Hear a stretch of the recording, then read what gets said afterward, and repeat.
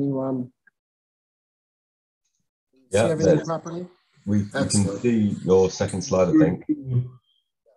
There's uh, there's 10 of us here. So a wide range of, of attendees.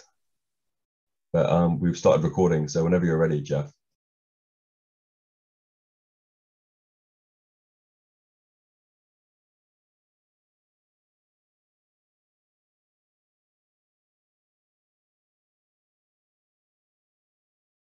We can't hear you anymore for some reason. Okay, thank you all again. Um, yeah, uh, since it's for the recording, I'll say it again. Uh, Jeffrey Dambacher, I've been invited here by Scott Ferson, and it's always lovely to be with Scott. And now I get to meet his students and fellow faculty at the University of Liverpool. So I was asked to drop in and uh, give a, a little introduction to some of the applications I've been developing with qualitative mathematical modeling.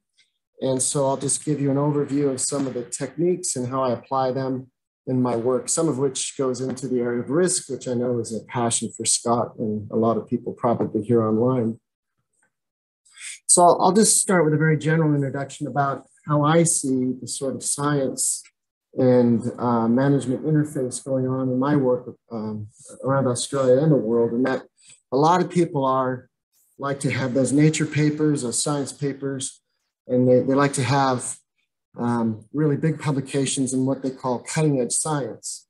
And cutting edge science can be typified, you know, with, with probably a lot of sins in my general description as something that involves relatively few processes, relatively fewer interactions between processes, uh, smaller spatial and temporal scales, and uh, smaller contraction of number of disciplines. Um, I would make the, the point that greater portion of advances in this area are uh, amenable to narrowly focused problems, a narrowly focused approach. Complex problems, however, require critical questions emerging not at a narrow edge of a single discipline, but rather along the broad intersection of many. And here we have what I call joining edge science. Here our collective endeavor becomes uh, to pull together the knowledge that helps us understand multiple processes with multiple interactions across larger temporal and spatial scales, a multidisciplinary approach. Now, multidisciplinary approaches, oh, can we get rid of that bar? Because they can't see the tops of all these slides. I wonder what the, and minimum height floating can height mean controls. Scott. Um, so yeah, challenges to interdisciplinary research are well known. Um, lots of papers on them, and they all kind of converge upon these, what I can put into these three dot points. Institutional barriers and silos, these never really go away. They just reemerge. They follow the money, especially at CSIRO. They reorganize all the time. Uh, but no matter where, how the money gets spent, that's where the, the silos sit, usually around to uh, um, control the flow of funds. But but basically, institutions do can overcome this. So I, I think that we can we can say that there's a, a, progress there. Also, sustaining collaborations between research groups and individuals that also could we've gotten better at that, I believe, collectively around the world. Um, and now my mouse doesn't work again.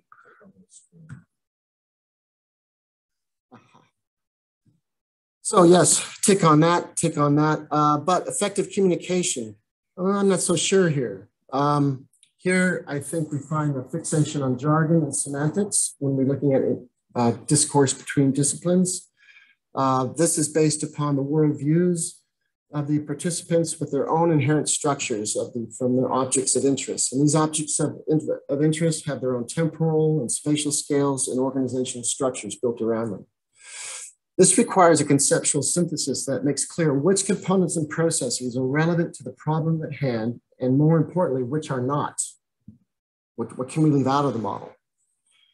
Um, and to typify this conversation between the disciplines, we have um, my favorite comic from XKCD, where we have the, uh, the poor sociologists on the left of the scale of purity of science, uh, and they're looked down upon sometimes by psychologists, which say that psychology is just applied uh, sociology is just applied psychology, and the biologists uh, that say that psychology is just applied biology, which gets handed off to the chemist, showing that it's just applied chemistry. And fine, at least in terms of their point of view, uh, it's just applied physics. It's nice to be on the top. But way over on the right side, we find this wonderful woman mathematician saying, Hey, I didn't see you guys all the way over there. But uh, jokes aside, I think it's the job of the mathematicians, those that are really gifted at uh, uh, abstraction and, and looking at, at, at things from a, a, pure sort of way, mathematical way, can help the discourse between these other disciplines. And that's the, the role of mathematics. Um, and when you two approaches of complexity, there's not only the science of it, there's the art. Uh, making the simple complicated is common, but making the complicated simple, awesome and simple, now that's creativity. And I think that should be within our modeling framework, is how to parsimoniously represent the uh, reality of the world um, that, you know, for lack of a better word, can approach beauty and creativity. You can, I think you can get to it. But uh, a more hard-headed approach might be to say that the role of mathematics is to educate the intuition to make the obscure obvious. So our abstractions need to encompass the problem in a way that it can reveal the paradoxes and the conflicts and the contradictions. So if you have too narrowly a focus of problem, you might leave those contradictions outside of your model. So Richard Levins in the 60s developed a strategy of model building in population biology, which I've tried to apply in my work in Australia for the last 20 years. And I've made some progress. Um, and his, the stated goals for, from his perspective was that first and foremost, we, we make an a mathematical abstraction so that we can under, better understand the world and make predictions and to craft interventions because it's not only necessary that we understand the world, but we want to change it as well. So he said that in any one abstraction or modeling um, activity, there are three attributes which we covet. We would love to have realism so that parameters and variables in the model uh, represent those attributes that we see in the real world. Um, we would like our models to have precision so that when a manager asks, how much more do I need to spend on, on X to, to get this amount of Y? Um, and generality. We would like our models to be transportable in context, perhaps, or space or time, or if um, uh, things, conditions change a little. We hate to have to go back and reparameterize everything since uh, uh, when there's a small change or uh, a, a, change in venue, so to speak. Uh, the trouble is if you try to maximize all three of these attributes in any one modeling exercise, we have a model that becomes unwieldy and uh, not fit for purpose. It, um, in fact, uh, the, the, amount of computational power that we've developed since the 60s uh, has not assuaged this problem to, at all. We have models that, that bury us in numbers, so to speak, and that we have to do subsampling of the results just to understand the output. Are we any better off then? Uh, we have a model that's as complicated to understand as the world is representing. So Richard Levin says that we, we um, knowingly or unknowingly, we make trade-offs so that if you were to give up realism and embrace generality and precision, not totally, but in terms of maximization, you have what we could call uh, statistical models. Um, here we have precise correlations, but we lack causation. Hey, who's doing that? This must be a pre-recorded thing that's coming back into it. Pretty cool. Um, I didn't do that. And then over here we have uh, uh, mechanistic models maybe AI is pretty good after all. Yeah. um, numerical simulation or mechanistic models. Um, if you give up generality and embrace realism and precision, you have models that reflect in excruciating detail how we think the world works if we can apply first principles of physics or, or, whatever it is that we can dump into some equations and parameterize.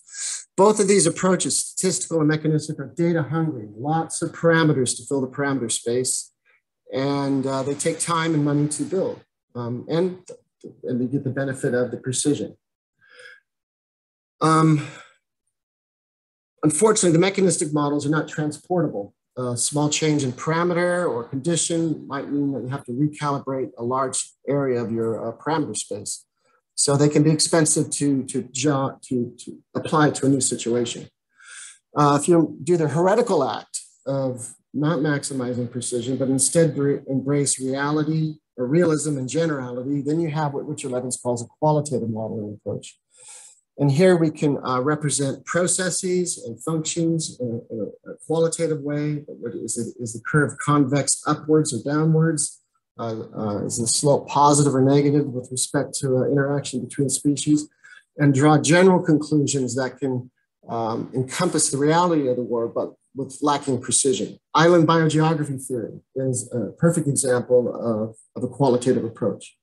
Uh, the, the, intersecting lines get this, uh, uh, this idea of a, of a, a, equilibrium number of species, and uh, that theoretical framework has been very powerful, I think, in ecology as a, as a way to guide our, our understanding of those, those issues. So all of these modeling approaches have their values, uh, but all have their drawbacks. And on, they're each leaving out something about the world on purpose. In a way, they're telling little lies so, and they're simplifying abstractions of the world, simplifying assumptions of the world. Um, they each have a different way of approaching the same problem. And Levin said that if we wish to have a robust understanding, a robust theorem about how the world works, we need to have different models with different simplifying assumptions converging upon the same answer. And that's probably our best uh, approximation of what we could ever approach for as the truth. And then for our truth becomes the intersection of independent lies. And so in, in embracing this approach, I've been working at CSIRO with uh, very good statisticians and very good numerical simulation modelers. And we all try to work together to try to converge upon uh, a problem uh, in a, you know, mostly in the marine realm, but I also get to work in, in other spaces as well. So what is a qualitative modeling approach for my um, interest, which is ecosystems? It can be uh, represented by a set of differential equations, which encompasses processes of birth and death. That we have these interaction coefficients here that, um,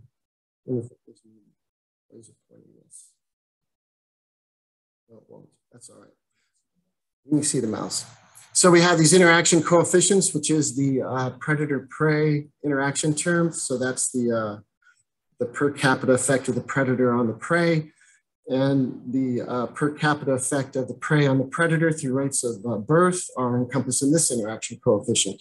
I can extract those coefficients and put them into the community matrix or the Jacobian matrix, or you can represent that same uh, information as a sign directed graph or sign digraph where the, the graph uh, vertices here are the population abundance variables.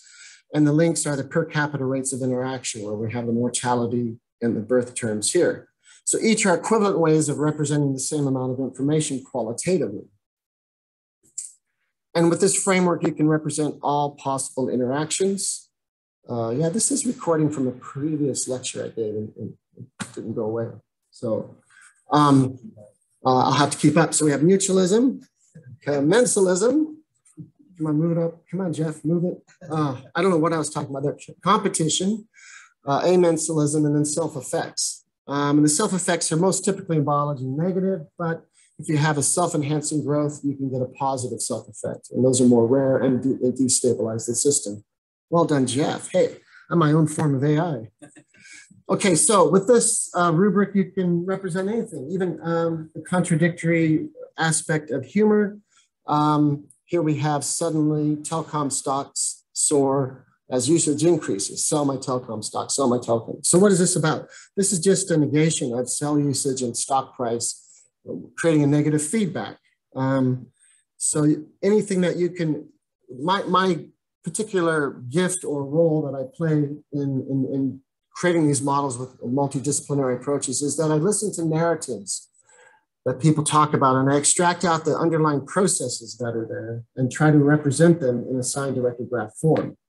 Um, so you can do it with humor, but you can also do it with things such as uh, economic systems like demand and price, price and production can be those same two variables.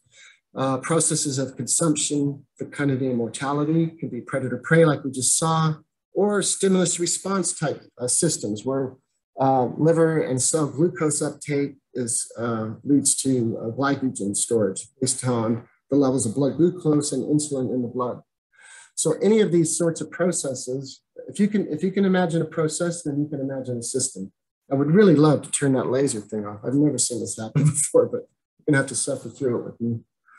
Um, so based upon these sign-directed graphs, what can we do? Basically two things. We can assess the system's potential for stability and how it will react to a, a press perturbation. A stability question is about a pulse perturbation. A pulse perturbation is an instantaneous um, shift in the population abundance. So if you go in and double the amount of predators, you drop in a bunch of uh, foxes by helicopter uh, into a paddock. Uh, so that's a, a one-off doubling of the population. Then you let the system go and see how the rabbits and foxes uh, adjust over time. And then the system might be such that they're stable, unstable, or neutrally stable.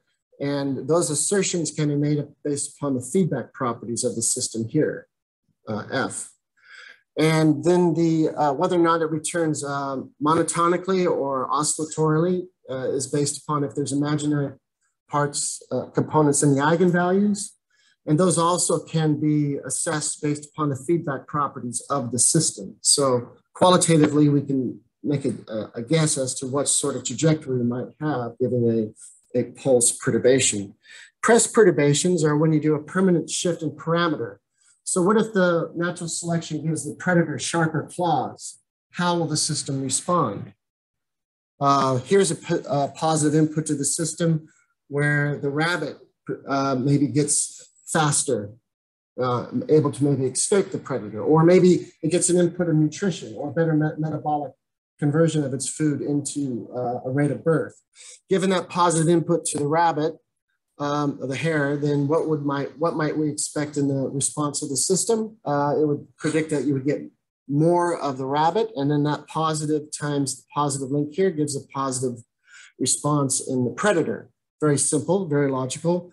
Any of these parameters that we can think about up here, the interaction coefficients, rates, intrinsic rates of birth here, or death, or immigration, or emigration, any process that you can think of in ecology can be uh, forced into this simple Lotka-Volterra linear form of an equation that you see on top. Of course, you can get uh, other forms of equations, and they're also amenable to, to analysis. Now, if you have the um, uh, negative input on the top, so do a calling program for the predator, um, then what happens is you get less predators, and that negative times the negative there, link going from predator to prey, gives a positive response in the, the hares, the snowshoe hares. And now all, all of a sudden we see a difference in response based upon whether or not it's from top down or bottom up. Qualitatively, we would expect input from the bottom of the system to have pos positive correlation structure, covariance structure in the variables, and a negative if coming from the top. So already we can uh, do um, have informative indicators about what's the likely cause of input to the system just based on the correlation structure of how the system responds which is a product purely and simply of the graph structure. This is all independent of parameter strength, just graph structure. Parameter strength is the actual interaction, the, the parametric value that you would put on the alpha, the beta, the delta, okay? That's where the parameter strength comes in. But if you just know the signs of these parameters, then we can do a qualitative assessment of the system dynamics. So armed with this tool, what can you do with it? Well, we looked at uh, a, a very large, well-done experiment, before after control impact type experiment in the Yukon where Krebs et al. Um, was interested in the classic snowshoe hare cycle. And the snowshoe hare has predators, uh, primary predators are lynx and great horned owls. And they did a, a hare food addition experiment they fed the rabbits, they fed them rabbit pellets, and lo and behold, they got more hares.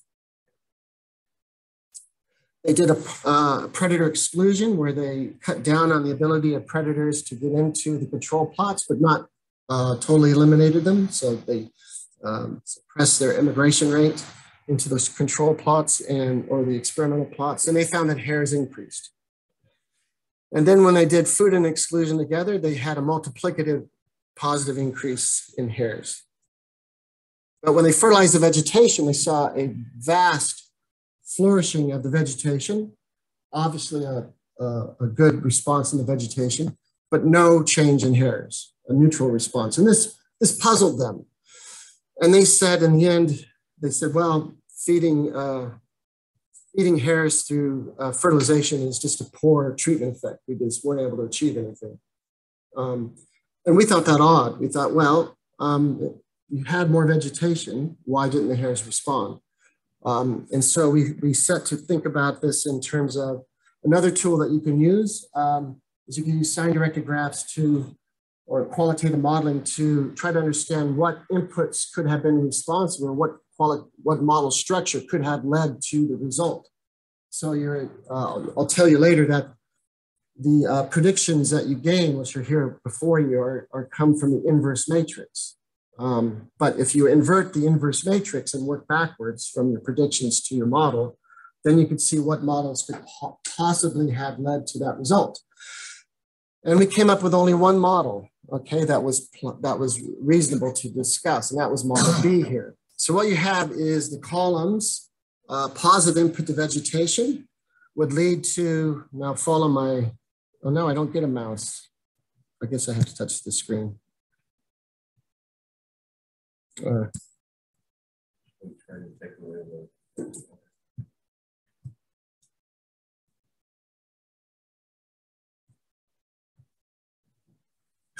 Okay, yeah, let's do that. That's right. We had, had done the recording of it instead.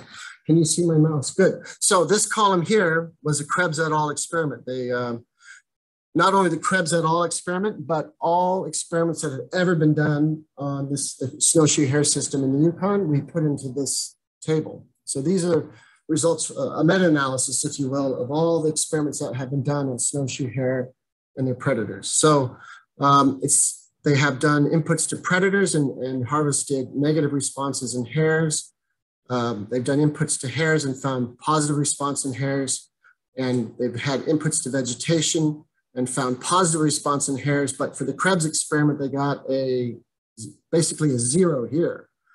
Um, this model A was the conceptual model that they carried through their research program. Model B could plausibly give the results.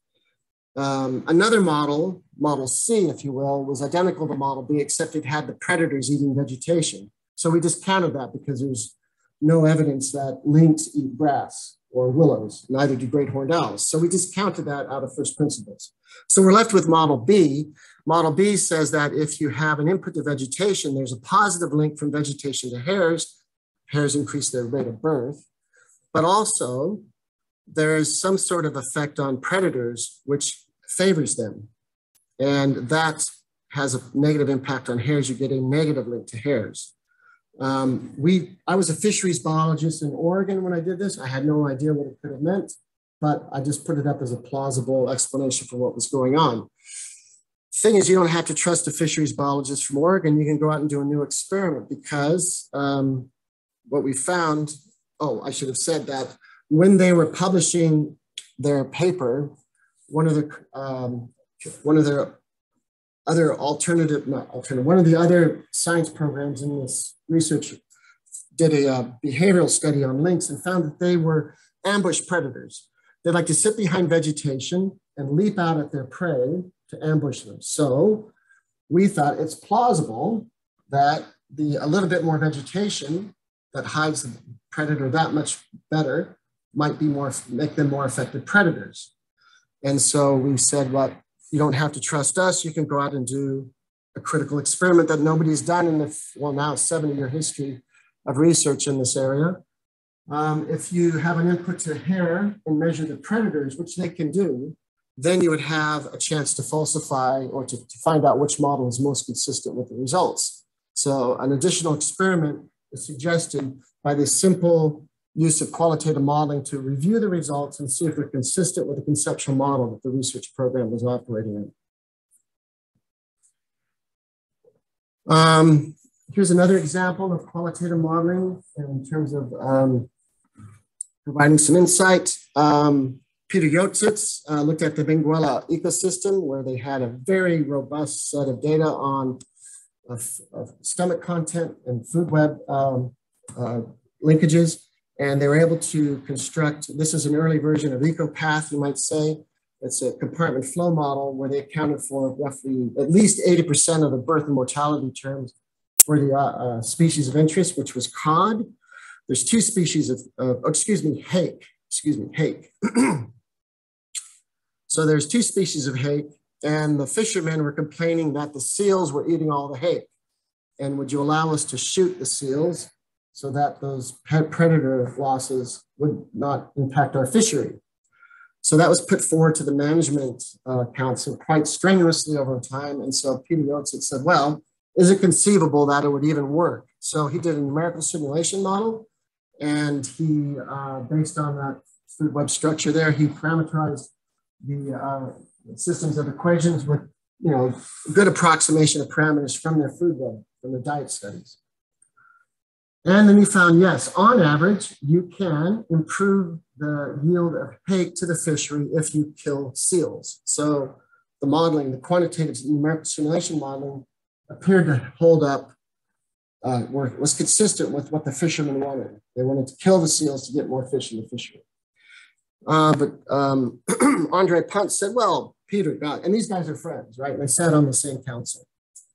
He said, you have a lot of equations there geez, you know, maybe we should just do it with three equations. Um, maybe that can get some information there. So um, he did that with the, the, the, system on the left there, and he just said, well, seals, hake, fish, fish is fishery. Sorry, that that laser pointer is means the fishery, not the fish. Um, and or actually, there's two species of hake. There's a Melusi, the Merluccius capensis, and um, paradoxus, capensis lives on the shelf in the shallow water, say less than, a, uh, less than 100 meters, but uh, on the shelf it gets much deeper, so there's a deep water, Merluccius paradoxus. Um, the juveniles of paradoxus recruit from the shallow shelf waters, where during that time that they're on the shelf, they are prey of the adults of capensis. So there's a predator-prey interaction between the juvenile of one hake and the, and the adult of the other. And the seals only live on the shelf, okay? So there's two fisheries as well. There's the shallow water or nearshore fishery, and then there's the offshore fishery in the deep water. And the bigger boats, different totally different fishery. Um, so if you do a qualitative analysis of these equations, and what you find is that, yes, the simple model, a single Hakes model, this has the same simplifying assumption as the more complicated model on the left. There's one compartment for, for hake, right? One compartment for hake here, one species, so to speak, combined guild. Um, if you do a qualitative input to this and kill seals, then yes, you get more hake and more fish in the fishery. If you do it to this model, then you get the same result for the shallow water system, you get less seals, more adult uh, capensis species of hake, um, and more fish to the fishery for the shallow water fishery. But you get less of the juveniles here because they're a significant predator from that predation process. And that then flows down to the adults here and less hake delivered to this fishery. Turns out 80% of the landings come from the deep water fishery. So if you do the seal calling and it behaves like the model on the right, then you will have less hake delivered to the fishery overall. This is what is called model structure uncertainty. So there's two sources of model structure, model uncertainty. There's parametric uncertainty and model structure uncertainty and Banksy did a nice installation where he talked about the elephant in the middle of the room. But long before Banksy did this in 2006, I met Scott Ferson, and he's told me that model structure uncertainty is the elephant in the middle of the room that no one talks about. And I believe it's true since that time that I talked to him about that when he visited Australia. I found it's pervasive around the world and really hasn't changed that much. Uh, the, the, implications of model structure uncertainty include, uh, or the types of it, uh, there's between models, different interactions or variables, uh, like I just showed you, the one hake model or the two hake. Uh, there's also uncertainty within model because you have complex and opposing interactions can lead to uh, structural uncertainty.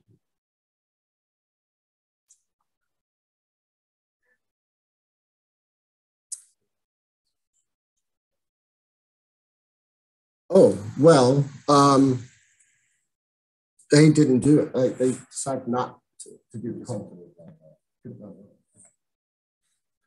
Um, yeah, is the model right? Well, they didn't test, they didn't do the test, right? But hold that thought because later on, I think we, I want to get to the point of testing the model. But uh, I think you can see that if you're on the precipice of allowing of seals, especially in 2020, you would better have your, your narrative well crafted. And that's what I would call a seemingly well crafted narrative because, oh gosh, look at how precise we are. But we're precisely potentially wrong. Yeah. Oh, okay. I don't know if you caught that. He said you have to have your hakes in a row. Yeah. Okay. So now I want to just uh, break away from that and show you how qualitative modeling can be applied to diverse settings. Here we had the need to populate a compartment flow model for uh, the Ningaloo Reef System, where we're looking at the impact of tourism on the west coast of Australia, where there's this wonderful fringing reef, coral fringing reef, not unlike the Great Barrier Reef. Um, it's absolutely magnificent and it's heavily impacted by tourism. And so we're building some models of eutrophication in the inner lagoon systems and trying to understand the flow through those. And we're doing a lot of LIDAR and uh, um, hydrodynamic modeling to understand the flow uh, patterns through the uh, reefs. But that information wasn't going to come in our research program for another year and a half or so. And we needed to get this basic structure of the numerical simulation models up and running ahead of time so that we can receive the data and be on schedule with our project. And so in the space of an afternoon uh, during a tea break, I talked to Graham Symonds and asked him, geez, how does, he, he had done some theoretical work on uh, cross reef currents uh, over the shelf, over eco, uh, coral reef shelves, reef flats.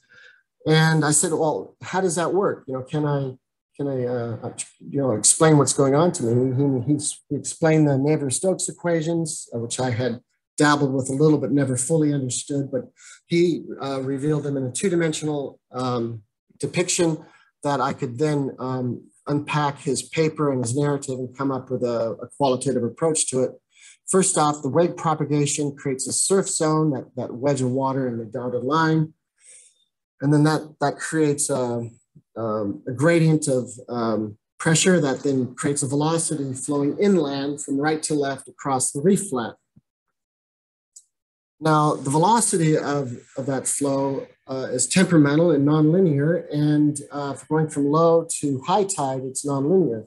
And it goes from low to mid tide, it is a negative downward function and inflects at mid tide. And as you go into high tide, the velocity increases.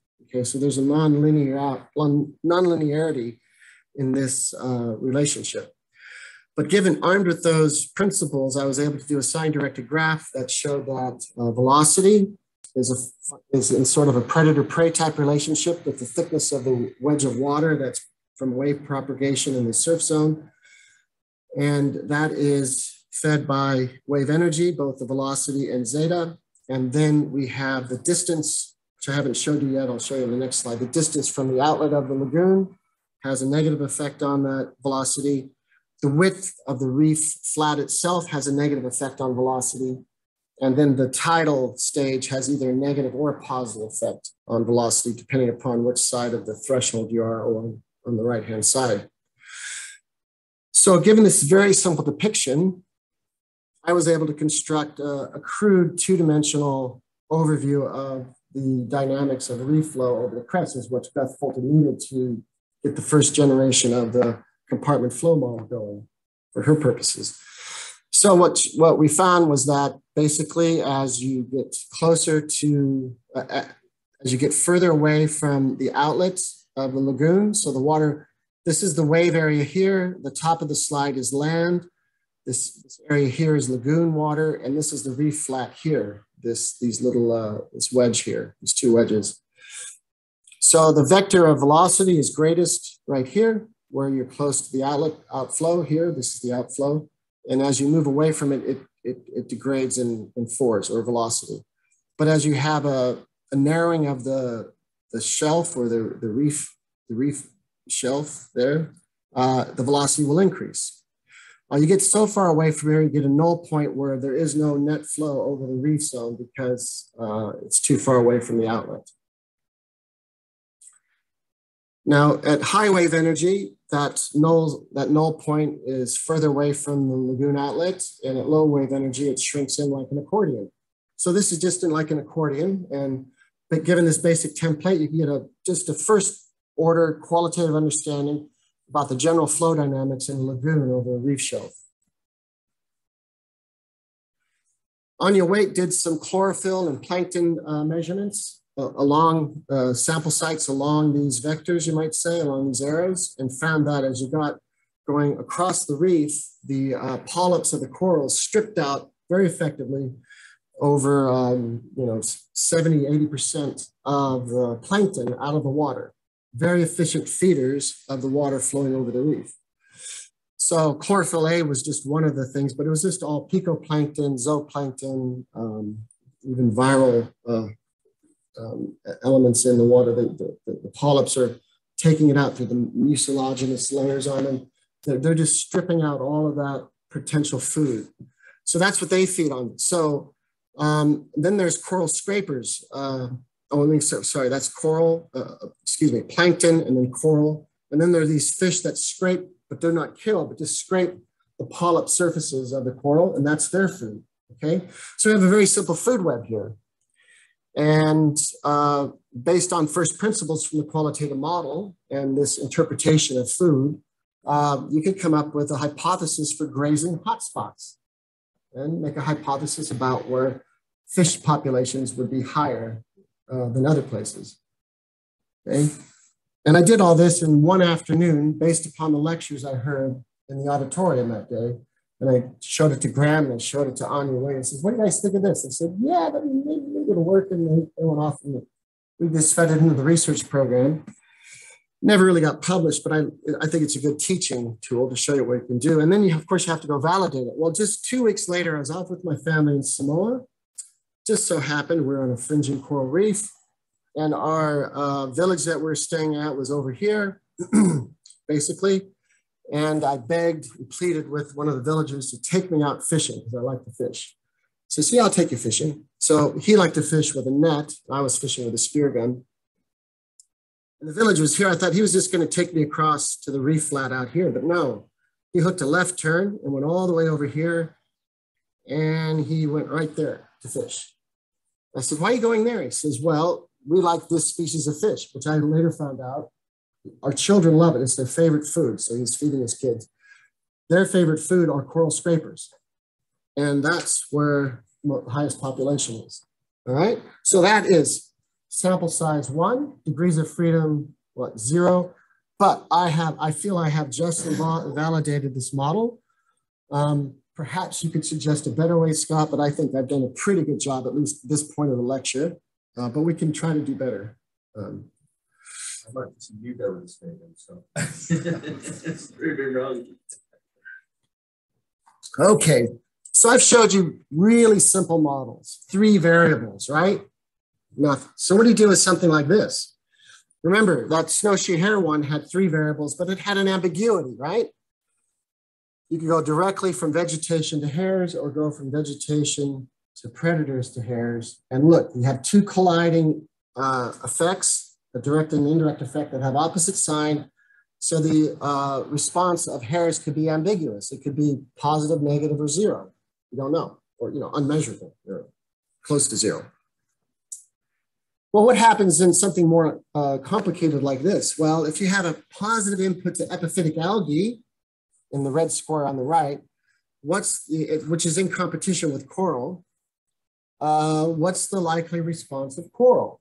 Well, if it was just going to be algae and coral out just within the red box, there is no ambiguity. Coral would go down because there's only one direct link from epiphytic algae to coral. But if you add on the system surrounding those two variables, we come up with an, an additional 357 or total of 358 effects that emanate from that perturbation to algae that will have a direct and indirect effect on coral. 82 of those effects are, are, will be positive, 276 of those effects propagating through the network structure of the system will be negative. If you just do a rough calculation, you could say, well, 82 positive, 276 negative, there's 194 net negative effects out of a total of 358. Okay, what would you guess? Would, would what you, if you're a betting person and you didn't know the parameter strength of all of those linkages in the system, what would you bet, given that information? Would you bet that it was going to be a positive or negative effect on coral? And uh, is it even proper to ask that question with a room of people like you, or is it like, you know? Yeah, betting, betting is well. Yeah. So who, raise your hand if you think it's going to be negative. Raise your hand if it's going to be positive. Raise your hand if you don't care, you're too afraid to answer. you didn't. You didn't raise a hand. Okay. Well, okay. This was the central problem of my PhD thesis because Richard Levins developed the technique and he applied it to variable models with variables, typically five or less variables, where you could understand the symbolic inequalities of the pathways and you only had a handful of competing direct and indirect effects to, to determine that, well, if these are stronger than these, then they'll likely be one way or the other in strength. You could do it in your head with the snowshoe hare example I showed you, right? But I was interested in something that was where you couldn't do that, where the, uh, where the ambiguities were outstripped the uh, ability of, of human cognition to keep track of. Clearly, 358 effects, the symbolic inequalities that come out of that are there's no human being that could do it. It's, it's too convoluted of an argument to, to make sense of. So I came up with the notion of creating a prediction weight, where you take the net divided by the total number of effects, and that makes a ratio of 0.54. Okay? So that's the ratio of the net to total number of effects. And then I said, well, if I was to test that against numerical simulation approaches, um, I could ask how likely is a negative effect? Because my qualitatively, the net effect is supposed to be negative. So if you're a betting person, you would say it was likely going to be negative. So that's the, that's the sign of the adjoint matrix you'll find out later, gives you that negativity. Um, turns out that the probability of a negative response is equal to nine, uh, 0.98. Okay, only 2% of the time well, those positive effects overwhelm all of those negative effects in random parameter space. And how do I get to say that? Well, I, for my thesis, I just created the top row. I did a random parameter space that was just a flat.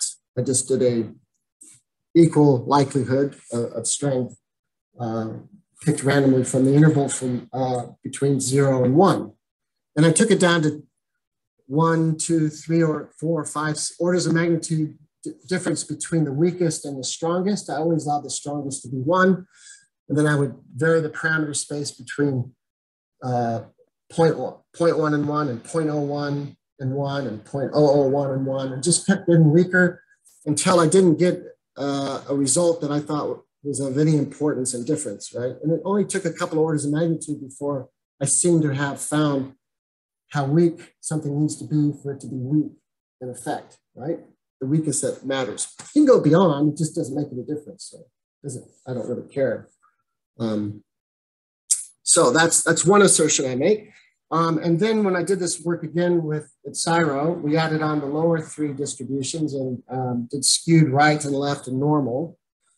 And the, the clouds of points are there um, in, in these columns, the, uh, the graph panels. Now, what you'll see is that the clouds of points are roughly equivalent, that the different distributions didn't have a, they're, they're, they're a little different, but not a lot different.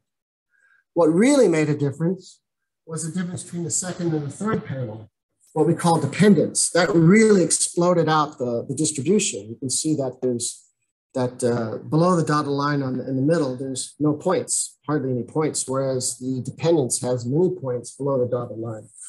So you, you could get really wrong opposite results um, more readily, um, you know, from the qualitative predict predictions if you had dependence. By dependence, I mean that a predator-prey uh, interaction is never randomly allocated.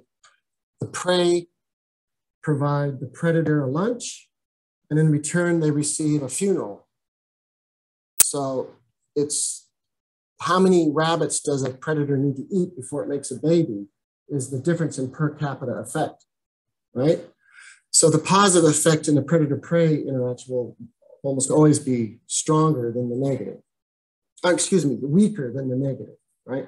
So if we embed that dependence into our numerical simulation, so for that graph on the left, every time there's a predator-prey interaction, I would make a, a, a, a, numerical allocation rule that you would always have to be some magnitude less than the, the, the, the negative if you're the positive. And in so doing, it, it, it creates a, a bigger scatter of uncertainty. But even then, the central tendency is not unlike that on the, the, the middle panel. So this then, if you use the central tendency of these uh, clouds of points, then it provides a means to do an assertion of, of likelihood of getting a correct sign determinacy in from your qualitative model if that model was to undergo or to represent something that was randomly allocated parameter space. So it allows you to say that, that, that I could trust that to be roughly out of you know numerical simulations, 98% of the times, a prediction with a 0.5 or greater, I'm gonna get correct 90, 98% of the time. I'm just totally confused because W is the net positives over the total, right? Yeah, but it's arbitrary what the sign is. It's the, it's just the weight that matters. And then you worry about if the sign is correct or whether it's a negative. It's not in some sense the likelihood of positive effects on the coral. Oh, it is. Um, 2% of the time. But, yeah. but, but like they're twice as likely to have positive effects in W, it says, but it says that probably the negative response is equal to 0.98. Uh, it was 194 was a negative number. I took the absolute value of it. Sorry. Can you please repeat Scott's question? It wasn't very He's audible. Confused by, um, rightly so, that this is a negative number here. Uh, 194. Oh, sorry. It was a negative. Yeah. Uh, okay. But when I put it into the, the W, I take the absolute value of it. It doesn't matter what the sign is at so that point. They were overall Yes, yeah. 98% of the time, the numerical simulations returned a negative result, but 2% of the time, those, these effects here overwhelmed all of those, okay? Right, and we also did a quantile regression where we uh, enveloped the cloud of points so that we would say, you know, take 95% a cloud that would envelop 95% of the points and take the lower edge of that as our reading of probability. So in, oops, sorry. So instead of reading that red line off of the central tendency, we would read it off the edge of an envelope around. Somebody had a question? No, sorry, I was just putting the microphone on so if someone asks a question, they can use my laptop to. Okay, right. Okay, so I just wanted to tell you that we could, we're, we're very, you know, general approach. We're just saying use whatever uh, distribution you want. We have algorithms that would let you do any of these. Um, and we did a central tendency approach or uh, the edge of a cloud of points, the quantile regression. Uh, if you want to be more conservative. Um, but anyway, it doesn't really matter to us. We just wanted a tool to come up with a way to assess differences in uh, likeliness of sign determinacy of a specific qualitative prediction within a, a system like that. And so here's just uh, a, a, deep, just a slightly deeper understanding of what's going on in a very simple approach. And um, you could take two pathways between X and Y. one of which is negative and one positive. If it's negative, it goes through a red circle. And if you randomly allocate parameter strength to those four links in front of you, then you'll get a positive and negative response 50-50 time, 50% of the time. Um, now, if you have two pathways, positive and one negative, then the prediction weight is 0.3 because one of these gets to cancel one of those. You're left with one net. One divided by three is 0.3. Similarly, now we get to four overall pathways, one negative, three positive, prediction weight of 0.5. When you get to that, you're up near 90, 95% sign determinacy for the positive to always win out over the negative. Then you have the same prediction weight, 0.5, but now it's four net to eight total. Now you get up to 99.9%.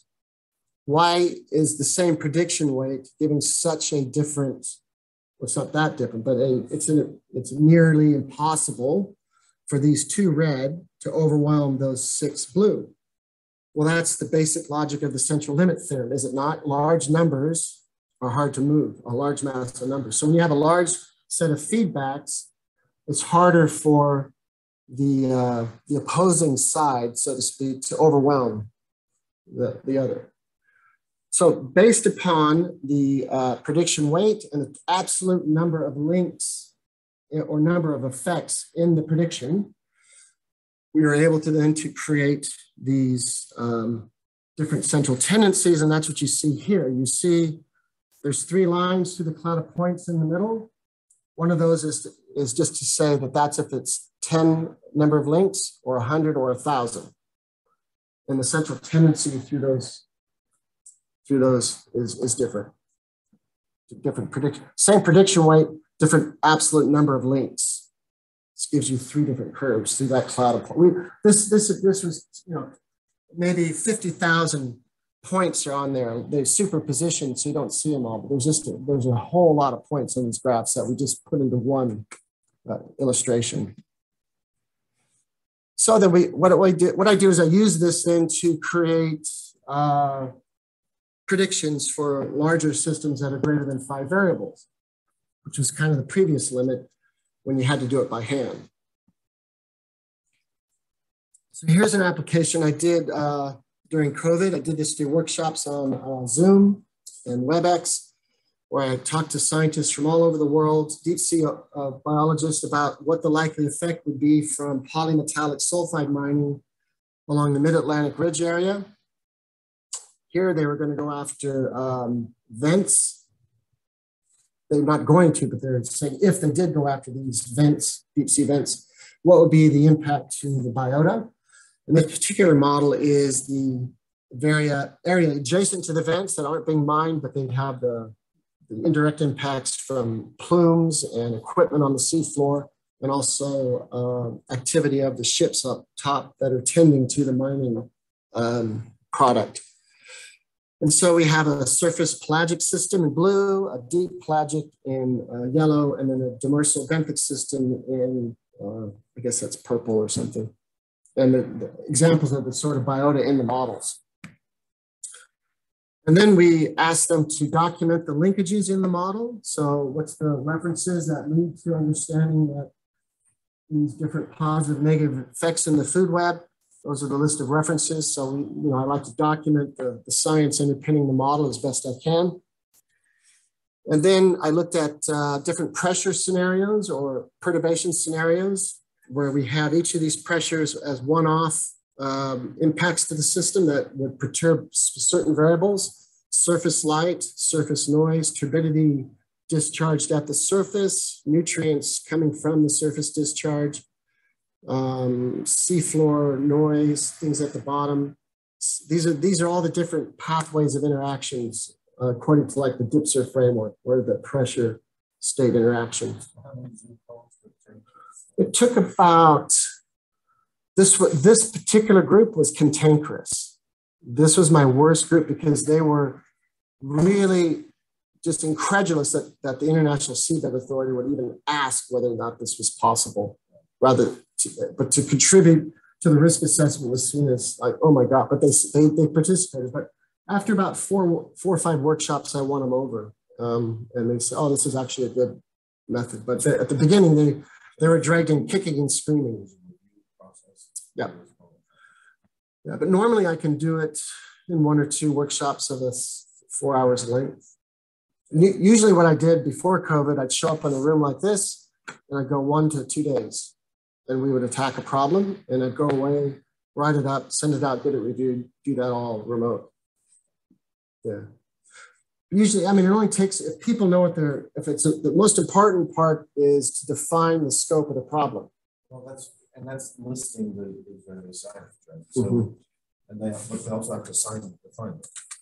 Yeah, and that we do that in the comfort of home. Give me the reference for that, you know, and follow that up. Yeah. I don't expect them to have an encyclopedia. I only ask people to come with their knowledge, not their not their books. Yeah, just their heads. Okay, so then I run the perturbations. Oh, go on.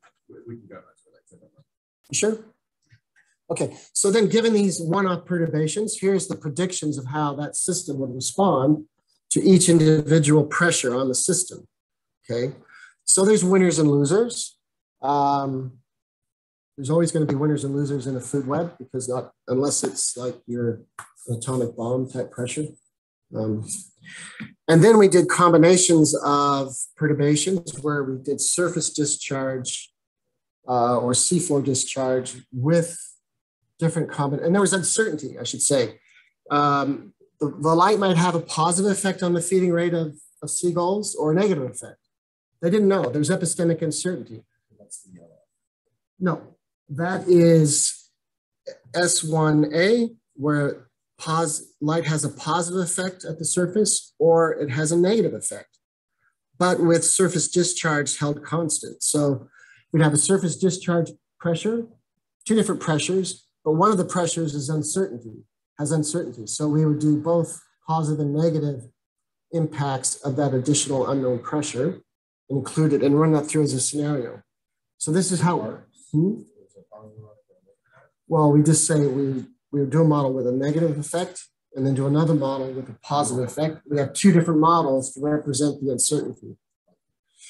So that's how we uh, approach epistemic uncertainty is we just embed it within different model structures and then analyze all a suite of models with a suite of perturbations. You have, you have, I'll get to that. okay. So then we have uh, these suites of perturbation combinations. And I guess I, I should have explained in the last one, but it's the same. Is the perfect, a perfect negative prediction, a prediction weight of one. So every impact that goes to that variable, it could be 50 direct and indirect effects. Every one of them is negative. There is no er- room for error. There can never ever be positive. If it is, the model's wrong, right? That would be a, a red prediction. A pure blue prediction, similarly, is positive. All uh, direct and indirect effects from the perturbation variable to the response variable are positive. If you set a threshold saying, oh, I think anything over 85% likelihood is, you could call it quote unquote likely negative or likely positive, then you can entertain the orange and the light blue squares. But you could slide that level of acceptance anywhere you want.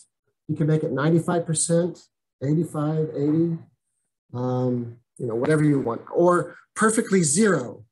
Zero means that there are no linkages going from an input variable to a response variable can only ever be zero. If it was anything other than zero, then the model's wrong, okay?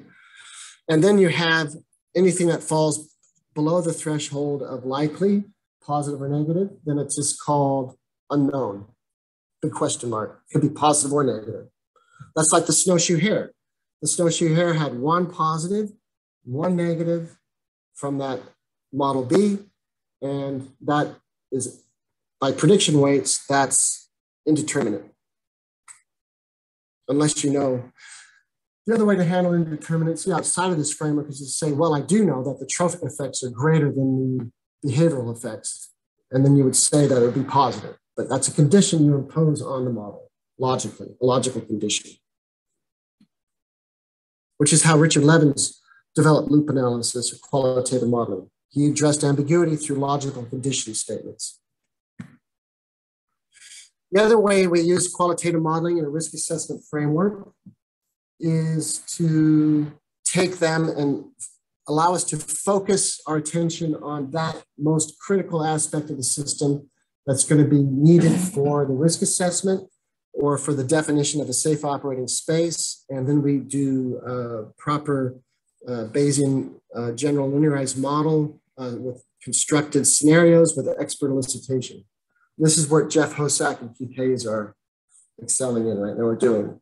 So we use my work to focus the attention of the experts on the critical part of the system that we need to worry about, uh, to boil down all that complexity to a simple, uh, a more simple uh, subject for uh, uh, in-depth elicitation. And they're going to use that to define, hopefully, safe operating spaces or thresholds of risk that are important to the analysis. Um, and then we need to embed that into a spatial context. So we have these zones of influence, as we call them, where there's high, medium, and low levels of risk from your dose response type relationship. So this sort of dose response type relationship needs to be elicited or somehow measured in the laboratory. Uh, and then if we have that tool, then we can put this whole framework into a spatial context and say, you know, in a mining operation or in a discharge situation, these are the areas where we think you're going to have impacts, and these are going to be the winners and losers. And at some point, we can draw a dotted line and say, everyone agrees that's weak enough. We don't need to worry about that anymore. That because pollution has been done the dilution, so there's our solution type uh, phrase, whatever that is. However, it's agreed upon in the management framework. Now I want to jump jump forward into an application for a 10 variable problem with eutrophication in Danish shallow lakes. This was the model structure. Oh, and these are decades, decades and decades of research that have been uh, synthesized by uh, and others uh, just before the turn of the century. Um, so there's a real, this is where there's deep, deep knowledge about the ecosystem. And I took their description of how the, the world worked. You have uh, submerged plants, um, invertebrates, phytoplankton, zooplankton, uh, um, planktivorous fish like, like cyprinids and predatory fish like pike. And then you had swans that ate the, the vegetation. You had ducks that ate the uh, invertebrates. You had cormorants and others that ate the fish. So a nice, tidy little ecosystem. And when you throw enough phosphorus, phosphorus into it, you get a uh, turbid lake and, and you have this art, um, alternative states between turbid and clear state that, that happens in that transition between the mesotrophic and the eutrophic state. So I drove up a mesotrophic model and a eutrophic model, and then for fun, a trophic interactions only model. I haven't really described to you, but these light blue linkages are nonlinear interactions. They come from things that are not purely uh, predator prey, not um, what's it called, mass, not mass balance, but uh, it's called interaction. Uh, the, interaction coefficients are, um, uh, I'm sorry, but if you have, it's based upon a linear interaction coefficient between two variables. Uh, it's the basic Lotka-Volterra interaction term. When that term is affected by another variable, then its uh, per capita effect becomes non-linear. And so examples of that are that zooplankton hide in the macrophytes during the day to escape predation by said cyprinids. So the amount of macrophytes in the shallow lake suppresses the predator-prey intensity between cyprinids and zooplankton. Similarly, when you get enough plankton in the water in a eutrophic state, it becomes turbid and the phytoplankton in the water keep piscivorous fish from seeing their cyprinid prey. Um, so that leads to these suppression of the predator-prey links, adds these new links here.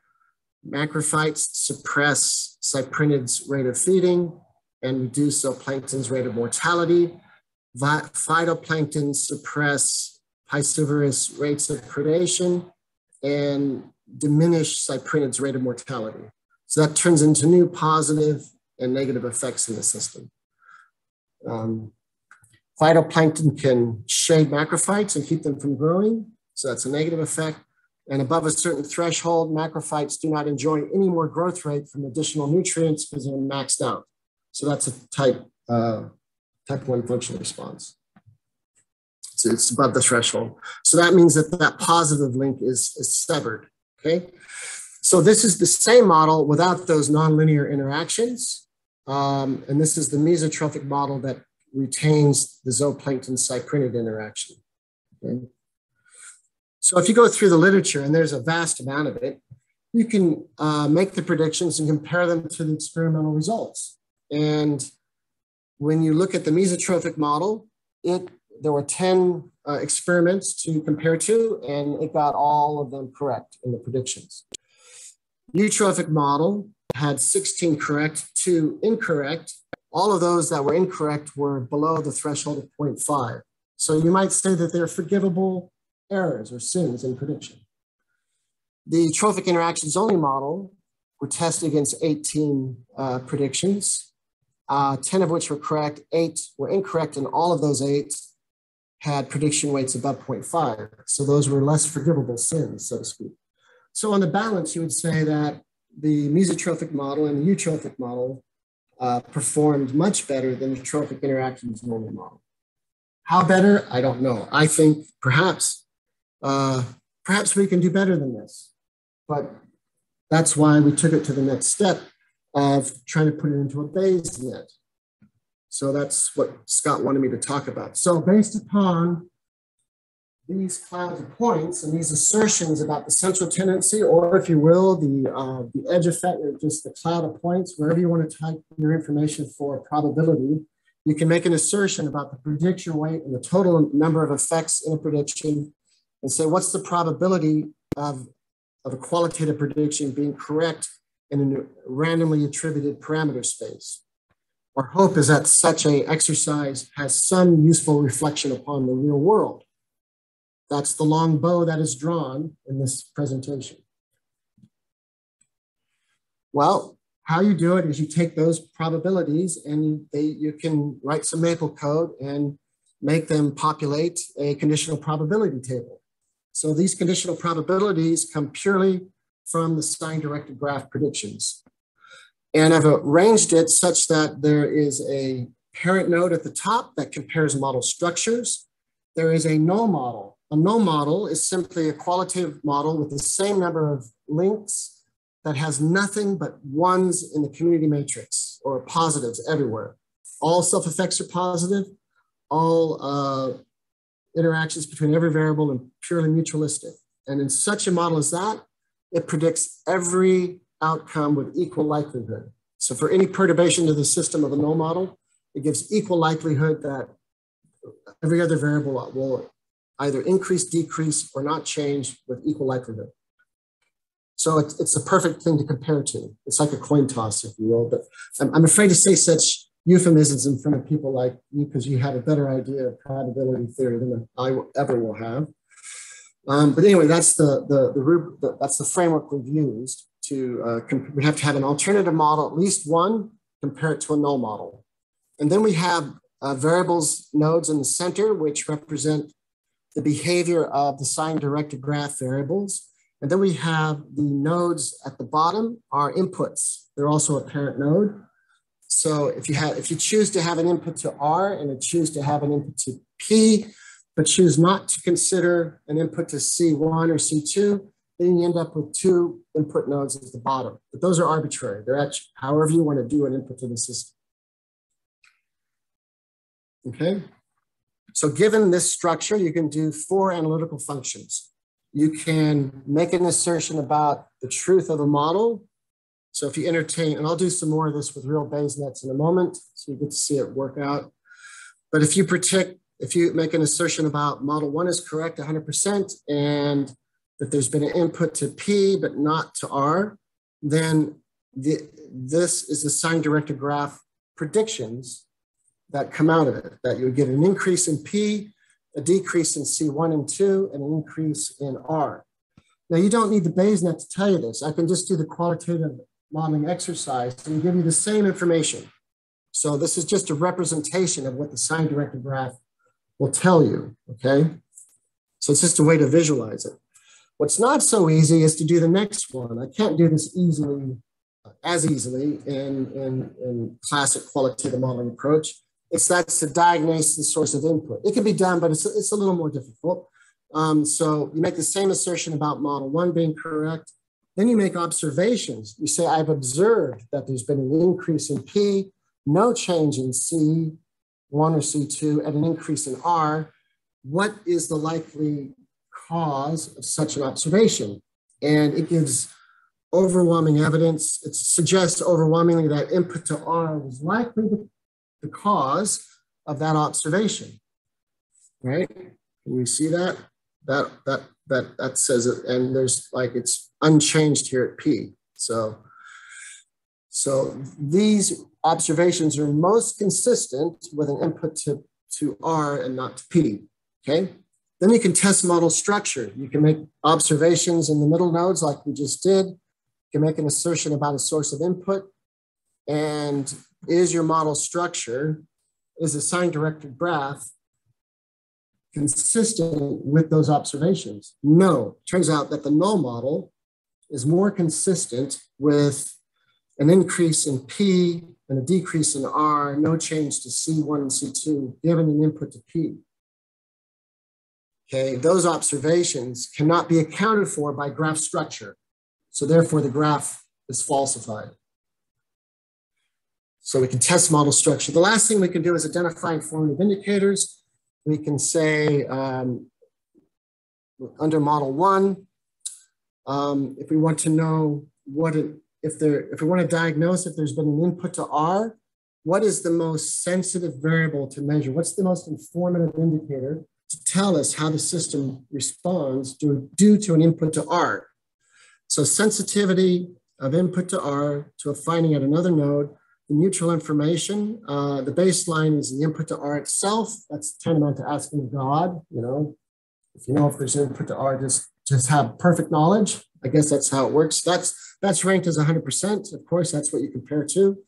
And then the next best thing to measure is R and R or P give you 83% mutual information to knowing if you actually knew about input to R but less informative are C1 and C2. C1 and C2 are poor monitoring variables for this question.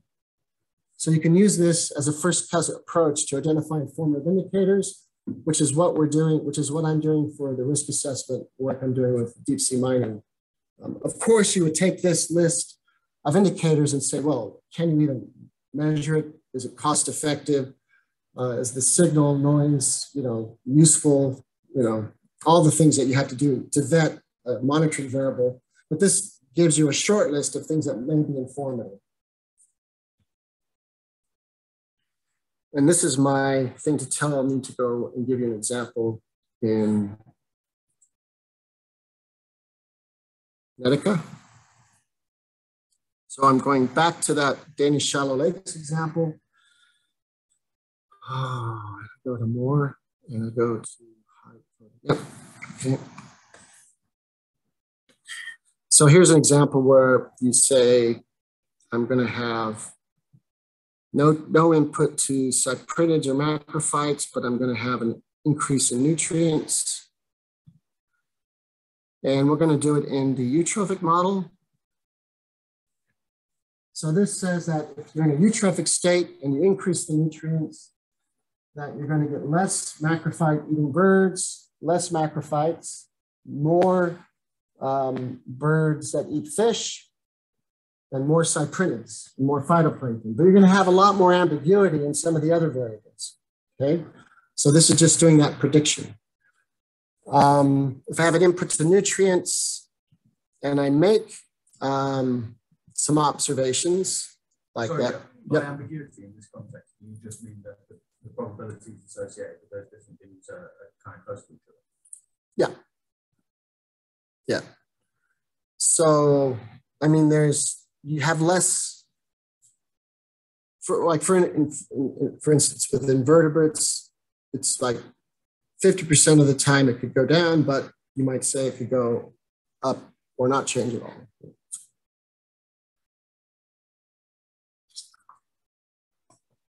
Whereas, you know, it's just, and I want my people to think about this in very crude ways. There's no way I want anybody to get excited about the difference between 57.3 and 46.9. All right? If you think that's important, then you're overextending these results. Um, and I, I have students all the time who want to make really important assertions about things that I think you just, this is a very, as you can see, the logic train that's involved with this is a very, very long bow. So um, I want this to be used as a first cut approximation about how we think the system might behave. Uh, but I would never um, make strong assertions based upon this, this representation. Um, so that here's a, a situation. I gotta put my glasses on now. So the nice thing is you can do, as you probably know, you can do cases. Um, These represent your predictions. given that- no, well, to put it another way, if these model, if the model structure that I'm entertaining, that is based upon decades. Well, that's based upon their their description of the system. I made the model. The model comes with it a suite of predictions that I can't affect, and they go into the conditional probability table. And then based upon that, the model structure speaks to the makes the predictions. Is that I'm not quite sure I understood your question. So. I'll go. I'll go. right. There's Jeppesen who did the work. Yep. Uh, and got the signs on there. You. Oh, I, I read his experiments and said, oh, he found when he did this treatment that they got more of this and less of that. Okay, so you made got the signs, that's fine. I, I extracted them out of the literature. It's a meta-analysis. So you populate the, the qualitative model. From the qualitative model, you create CPTs for this, right? Yeah. And so. In fact, let's look at one. Those represent your predictions based on Jeppesen observations. These represent the prediction. These, these conditional probabilities in front of you come from the structure of the qualitative model only. Right. Yeah. And the weights, right? The equiprobability weights. And, and the equidistribution assumption. Yes. All of the, so everything that, and you know, I, yeah, all of those that clouds of points, and you can use the central tendency of the first, second, third, or fourth panel, or use the second or use the, you know, the edge, the 95 development of that, one. however you want to develop it, you can come up with a independent, you can come up with one, two, three, four, five, eight different styles of initial probabilities. I don't really care. Do whatever you want, whatever makes you happy, you know, because there are so many assumptions there, right? How would I dream to say that this is the best way to depict the entire universe? It's, it would be ridiculous. But whatever distribution you want to cheat, to play with to, to as a means of inter- first cut interpretation, this allows you to do it. Yeah, it's not it's not completely outrageous that you know there are four of those blue ones and only two of the red ones. Then probably it's blue. Right? That's all I'm saying. And, and that's clearly like a distribution assumption, probably an assumption. What, what if one of the reds is catastrophic? Yes. It doesn't matter. It's Mothra and Godzilla. Oh, so so Jesus hates you. Well, if the ocean boils, the fish die. You know how much food That's true. Yeah, um, yeah, and I was, and I'm afraid of Mars attack too. I mean, it's going to happen. How- How much complexity would you add if you just were like doing steps? That's why.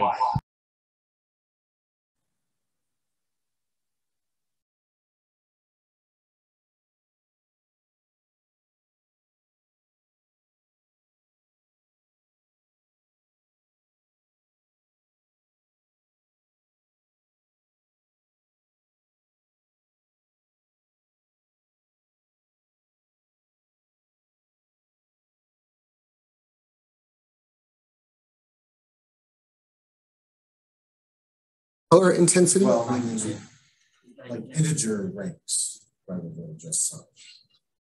I wouldn't know what that meant. Well, it's it's bigger than one, it's smaller than six. But I only entertain the sign. yes, If you want to do quantitative things, go for broke. And that's a numerical simulation path. And there's halfway houses between. But right now, I'm just doing the purely qualitative sign structure approach. Um, there's lots of different, as I, some of my follow-up slides, I'll make the point that there are ways that there's nothing that's purely statistical or purely qualitative or purely numerical simulation, that there are halfway house. You can imagine all sorts of ways to make halfway house models. That's fine, but, uh, but right now I'm just talking about the pure effect of system structure, which has, I think, overwhelming, overwhelming effect. And people go on and on and on about parametric and, and you know, sensitivity analyses on one model. And you saw what, what that could do in the Benguela upwelling system with one hake versus two hake, get the completely opposite result. So there are so many people doing numerical approaches that are far wiser than I, that I just let them do that. But I'm I s- particularly deep about this. Sort Yeah. hybrid, you know, just it helps. Not sure, but yeah, we can talk about it. It's a- it's certainly a reasonable idea, you can sort of partially it. But, but your argument actually is quite deep. And, and, and, and maybe it's right that, you know, the elephant in the room is screwing things up. You know, he's the thing that determines what's really happening. Um, so his argument is that the qualitative thing is really running the ship. And that the, the other stuff is just, was it may close it bells and whistles or or window dressing. Yeah, I think so. I think, and I think it's the most underappreciated aspect of ecology.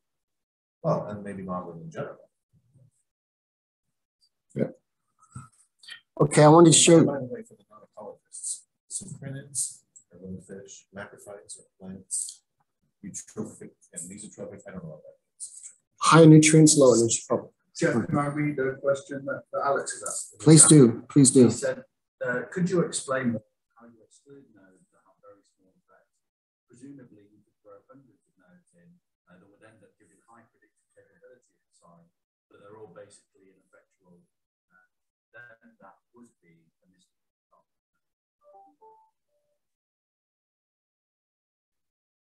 Is it gonna make it hard for me? Um, I think it'll come.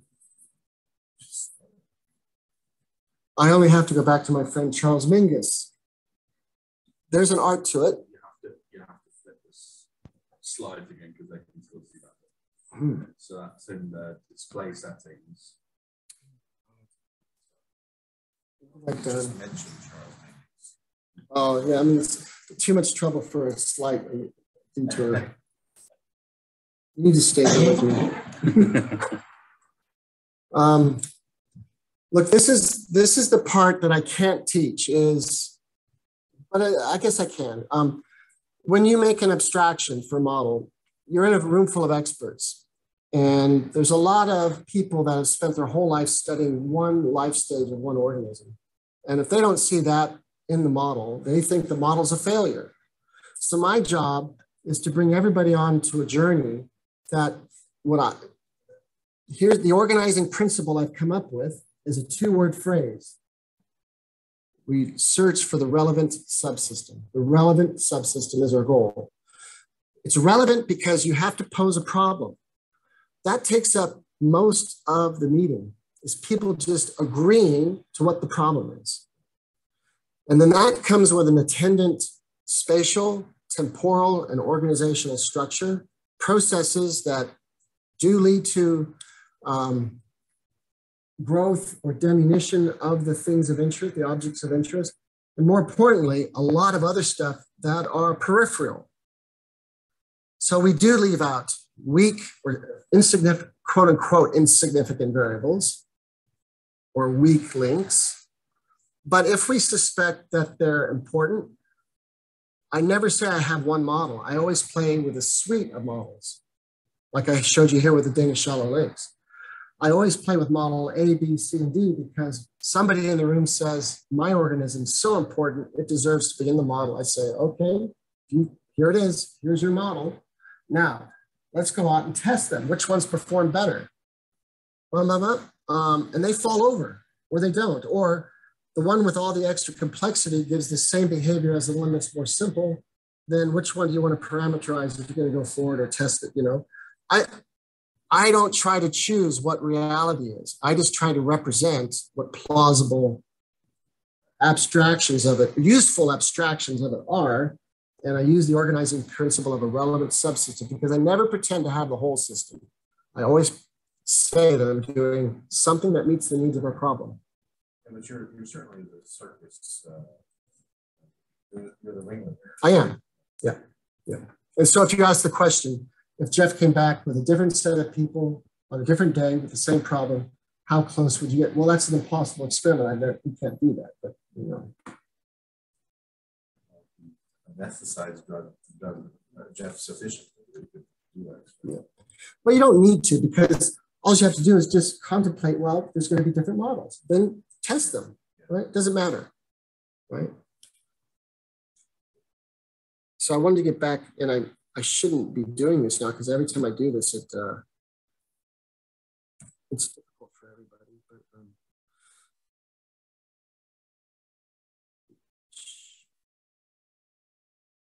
can everyone see the Bayes net again? That's not in this room. Yep, clearly visible. Thank you. I want to make one more point with this. Um, can do a case, get case. Macro. So I asked um, Nutrient Press and Eutrophic Lake. So this was a test at how well the models performed, given the observations from Jeppesen's and others, decades and decades of research. So this is like the snowshoe hare, where it was a meta-analysis of 50 years of research, all fit into those four boxes, so to speak. Similarly here, um, there's been three, really only three inputs to the Danish Shallow Lake system as um, experiments that try to control alternative states between clear and turbid water states. And they are input to macrophytes, input to cyprinids, and input to nutrients. And when you do that, then I've taken the observations from the literature, the meta-analysis, and those are the observations in the middle. And it shows that the eutrophic model is 99.9% level of likelihood as being most consistent with observed observations as opposed to the mesotrophic model, the trophic only interactions model, or the null model. Okay. Is there something? Well, that's a good idea. Yeah. Now let's just see how easy it is to knock the uh, mesotrophic model out though. What if we, uh, all you have to do is make a few observations like that, and all of a sudden the null model beats the shallow, the, uh, the eutrophic model. So these qualitative models are very easy to falsify. Um, and you don't even need good rigor or precise data. Like um, I had one study where they didn't bother to measure the amount of macroalgae growing in the coral reef because you just take a picture of it and it's green, right? They didn't do a plot to say that there was, you know, X number of biomass per hectare. They said there's a just a there's a hell of a lot more macroalgae there, folks. So I just put that in, right? So the data you can use in these is quite good, uh, or quite also. Because yeah, it can be qualitative, right? And uh, and you know how to run Bayes net, so you could you could hedge your bets and say I'm, I'm only eighty percent sure that birds went up, and it, they might have not changed by twenty percent. So you can you can do all of those nuances in this framework and have it, as you know how good a Bayes net works for that sort of purpose. So So just, so, because I, I don't use that, so you clicked on the bird fish, you changed some of the observations in the gray boxes. I did. And and then because it's, like it sort of went back up and said, ah, well, that means that the trophic model is less likely now. In fact, the null model is just as good. Exactly. So model testing, all- and isn't that what we're supposed to do as scientists? Yeah. Isn't that what we're supposed to do in a risk assessment of a scientifically based approach? So that's this is one of the tools we're using to try to improve the state of risk assessments in complex systems that are data poor. So that's my, I'll get off the soapbox now and I'll get back to the talk.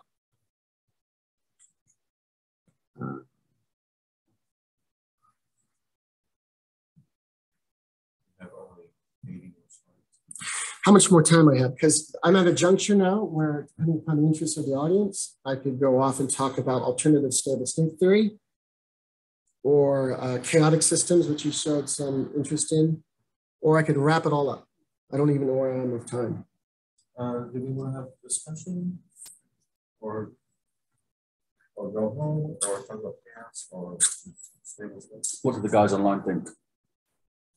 Are there anybody else left on Technically, I could sit through another couple hours of this, but uh, I'm just limited in time. So, the? Fair um, enough. Well, the thing is, is that Scott can always have me back for a four-day workshop. Um, he just has to wine and dine me again. Um, so yeah, Everyone else online, does anyone have any preference? We can either go some discussion and we can put the microphone in the middle of us and just all chat, or we can try, or we can let Jeff continue. What were the um, Uh, options? look, I think the points I'm going to make with these other slides are minor compared to the ones I think you guys really wanted. Um, I just heard some things that you were interested in, so I, I threw in some ideas about that, but they're not core. So I think I've given the core. I'll give the uh, the wrap up, which is four uh, slides. Yep, and then I'd like to hear people's thoughts about. yeah, that would be good. Change this one again.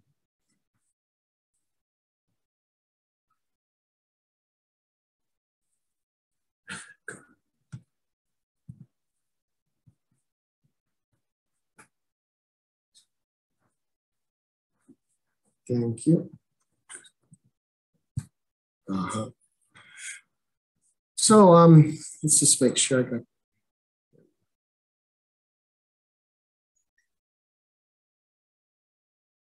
Um, so, general and realistic models. By the way, Levins didn't coin the phrase uh, mechanistic or statistical or numerical simulation.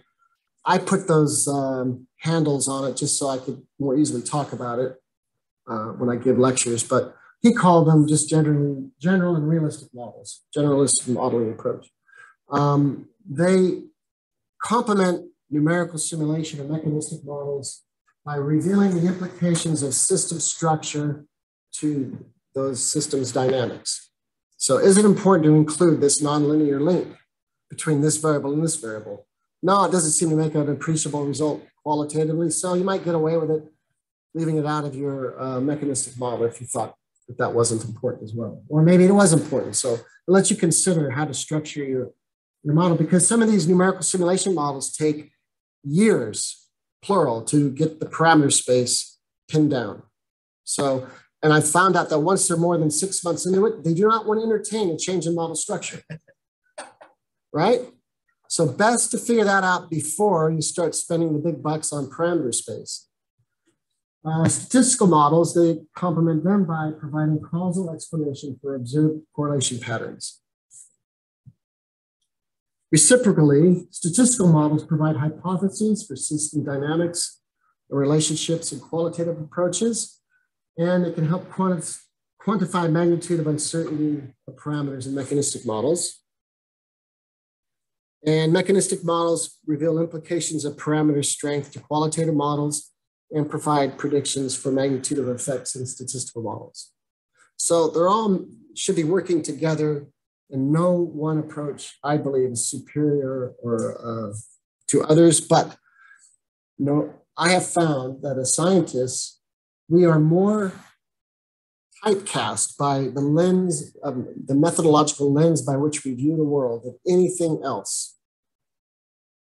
We really assort ourselves into our cognitive silos based upon the methodological approach.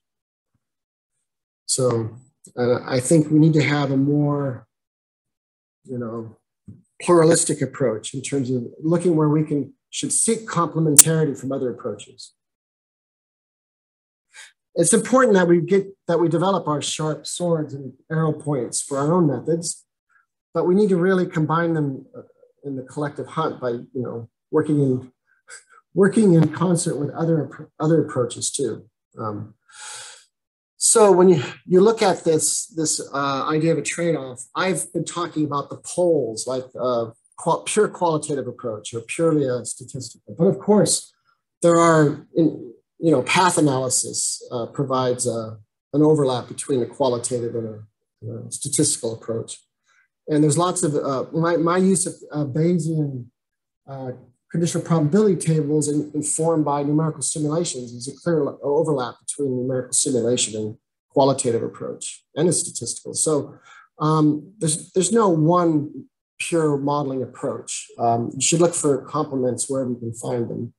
Uh, but you can never occupy you can never occupy the high ground here. You're always going to be making trade-offs um, and different simplified assumptions. Um, so I'll just leave you with that.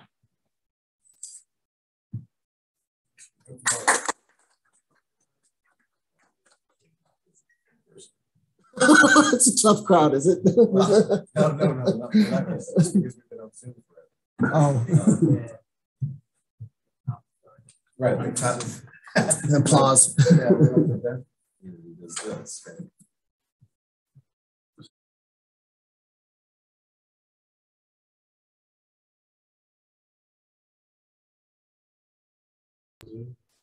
Guys, are there any questions? I got, I got bridge one. Oh, oh. Hang on, there's some uh, It's God. echo there. Okay. If you speak in the microphone, you should. I think the microphone is right here. Can you guys hear now? Yeah, I can hear that clearly. Okay. Uh, so Jeff, if you come over to my laptop, we can all sit close. And then Okay. Everyone can hear everyone. So here's today. Yeah, sure. So if you want to fire away, Alex, I think we can all hear you now. All right, son. Uh, first of all, yeah, thank you very much for the talk. Uh, really, really interesting. I always like seeing more, like how to approach the qualitative side of things. Um, I was just wondering, basically, in terms of when you're trying to deal with the sign, and obviously, like the problem of how how big is the effect of a particular sign when you've got like eight positives and two negatives? Um, is it possible um, that those two negatives would outweigh the positives? Um, if you're going through the process of basically like expert elicitation to build the nets and exclude or include particular nodes in the first place, have you thought about including um, considerations on the actual like magnitude of those effects in those nodes from the experts rather Yeah. than simply considering the sign. Yeah, but when you do that, you don't know the um, the convoluted arguments that you're entering into because of the the contingency. When you invert the matrix of the that's representing the uh, the interaction matrix, community matrix, you'll get a proliferation of of terms that they show up in these you think it's just one link in one place, but it shows up in all the arguments everywhere in every prediction in a parameter space that's highly um, contextual or contingent. So you think that you're just making a very simple assertion about one link, but in, it's being traded off against every other link. So you might have a lot of knowledge about one link and you'd like to specify that. But you know, a system of 10 variables has tens and tens of links. And you're not going to do it, you're not going to be as certain about all of them. If you were, then you'd be going off already making a numerical simulation model. But we just simply don't have that kind of information about most systems that are ecological or sociological or economic.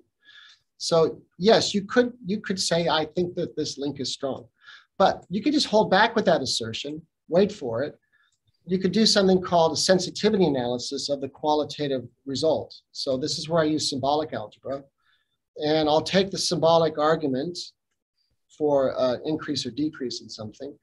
And I'll say that, well, what is the um, partial derivative of that link with respect to the symbolic argument for the prediction? And I'll find out if it comes out more in positive or negative sides.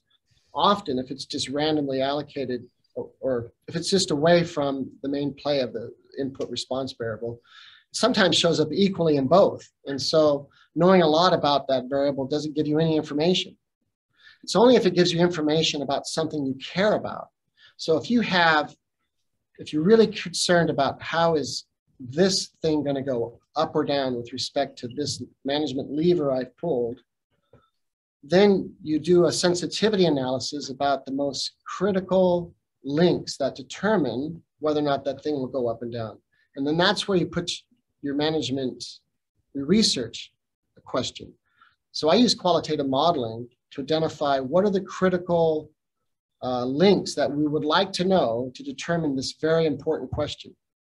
Not, not taking that and, and doing that at the end, but not at the beginning of the modeling building exercise, because I think it can become a red herring.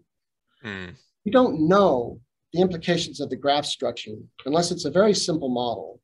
Once you get above five variables, you simply don't know the implications of making an assertion about a strong or weak link yet. But what I do all the time is people say, that is a weak link and it may not be important. I say, very good. And I just take my, this is why I like whiteboards. And I just do, I make it a dashed line on the whiteboard. And then I'll make a model A and a model B with and without that link. And then I'll carry it forward. And that's, that is in itself a sensitivity analysis of the link, of the effect of that link in the model structure. So there's, don't, everyone wants to rush to precision, say, well, it's, I like, I like your approach. Let's just try to make it more quantitative. Right, that's, that's Marco's. Everybody wants to do that. And I've learned that that's just human nature because, well, I don't know how you were taught, but in general, Western science is biased towards thinking that rigor is precision but it's not the same thing.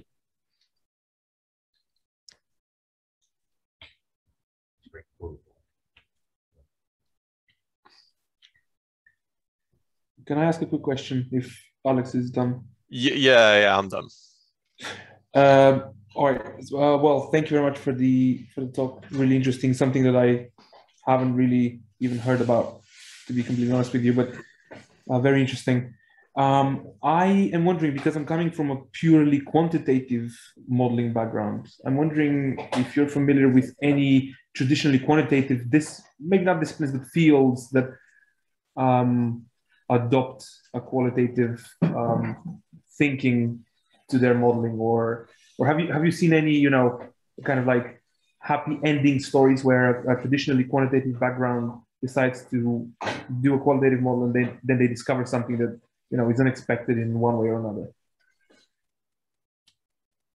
Oh, has, are you asking whether qualitative modeling has been informative to a research program? So, for example, um, I'm an engineer. For example, uh, something very hardcore engineering in terms of in terms of uh, an application uh, decides to apply qualitative modeling, and then there are uh, unexpectedly positive outcomes of, of this choice. Are, are you familiar with uh, uh, any any any such research being done? I mean, I, I, suppose ecology is is more amenable to qualitative models, but um, but you know. Um, well, Richard Levins originally developed qualitative modeling from signal flow graphs out of electrical engineering. So it's it's embedded in there. I found also that while he didn't quote it in his developments. It was uh, used first by Paul Samuelson in Foundations of Economics in 1954. It showed up in economics first there, um, about the same time as uh, engineers were using the reasoning in signal flow graphs. Um, and then the economists developed it along a, a line that I find very odd because they started proving very obtuse theorems for small numbers of variables, but never applied it to, I think, its full potential in economic theory. But maybe it's because economics is not really a science and they don't care about that.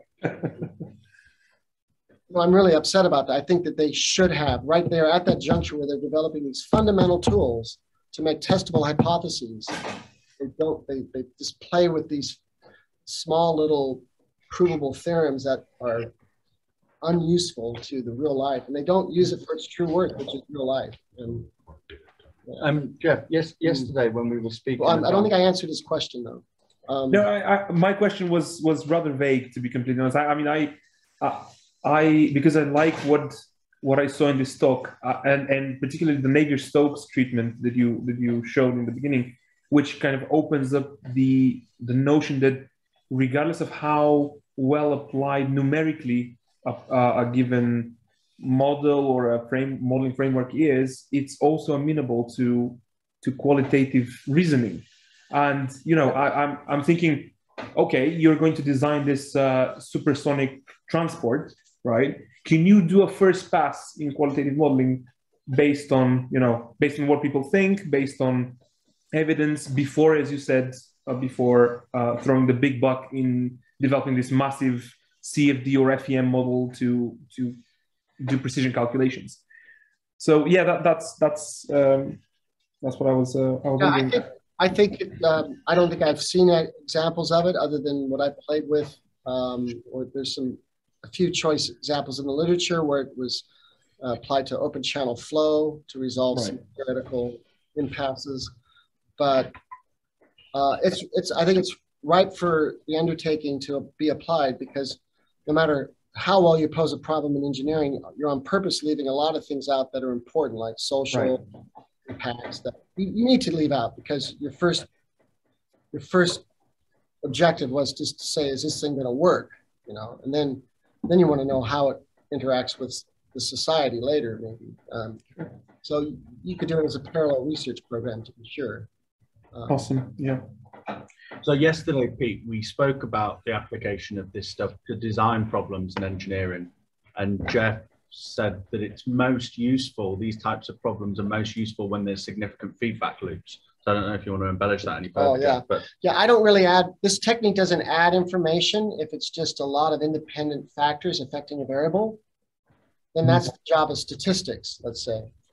Um, and but as soon as you get some variable interacting with another variable and another variable, and that goes back to the beginning, then most analytical frameworks can struggle with that unless they're very, very well specified. And in data poor situations, especially. Right. Yeah, I, I mean, to be realistic about, about a whole situation, it's only uh, up to an assumption that you have an independent set of variables that affect something. It's always, or almost always, um, the the situation that you have some sort of interdependence or feedbacks or you know other complex interactions as you that as you correctly pointed out, you just choose to idealize out uh, in the interest of you know uh, tractability or computation expense or in uh, I don't know interpretability of the model or something. But uh, yeah, okay. okay. May I ask another question before I need to go? Um, sure. Just uh, a more a more um, precise one, I hope. So the, in the dependence um, in the dependency column that you showed for the, for those quantile regression plots, how did you define dependence? Was it similarly qualitative? Like no, it was simply that if there is a predator prey link, so with any one pairwise interaction in the in the models that we were using as to train our data set. Um, if it was a plus minus relationship, we just made sure that the minus was stronger than the plus by some mm-hmm. degree. All right. So that's as a couplet. Right. Right. Okay. That, that is a form of dependence. And I'm not mad crazy about probability theory and everything. But well, when we first did that work, Keith Hayes, Jeff Hosack, and I, I thought that the different distributions of parameter space were going to, and you need to know that I did my PhD on just that first row, first column. I just did a flat distribution without dependence. And I got some results, found out that 0.5 prediction weight gave you a good 90, you know, rule of thumb, high, I just called it a high level of sign determinacy. And if it didn't meet 0.5, I said, well, maybe you shouldn't trust it so well. And I thought that when we started doing these other parameter spaces, you know, skewed left, skewed right, normal, um, that it was going to destroy my results. I was a little nervous, you know, didn't know, because I'm, I'm not really that clever with probability theory. And my co-author, Keith Hayes, is much, much better thinker statistics. So is Jeff Hosack. They said, no, no, no. It's not going to be the distribution. It's going to be the dependence. And I said, ah, dependence, ah, so what, you know? Turned out he was right. Keith was absolutely right. As you could see, the clouds of points look nearly identical in the first column, but the first column and the second column, it explodes. And the dependence really matters in terms of having an outcome on simulations, numerical simulations. And I think it's another elephant in the room. Yeah, very much so. Yeah, th- this is something that we've been exploring, um, well, in depth, or maybe not so much in depth, but quite intensively, I would say, in, in the Risk Institute under Scott. I mean, at least for me, he opened my eyes to the um, importance of dependence, and and uh, we've run a number of analyses that suggest that marginal distributions are not so, not nearly so important in many situations, not almost not everywhere, but in many situations, not nearly so important as is dependence. So okay, that's I just wanted to I just wanted to know about this. Thank you very much.